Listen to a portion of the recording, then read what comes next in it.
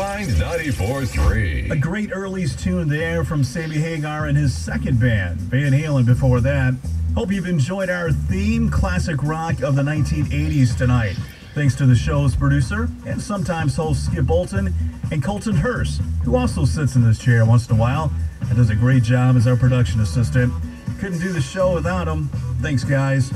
I have time for one more memory with you, and it comes from a New England band with Toledo roots, Boston. And some good advice still today cool the engines. Have a great night. I'm Tim Perry for 80s at 8.